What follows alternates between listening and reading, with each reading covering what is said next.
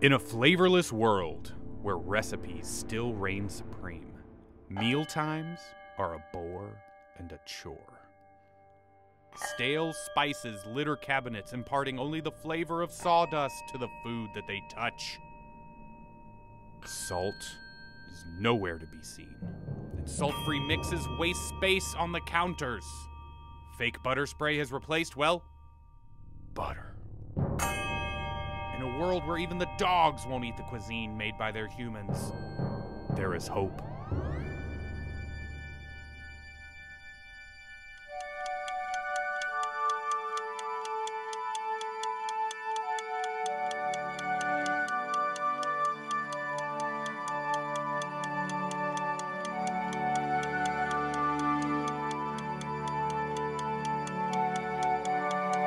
Courageous Cooking School. Now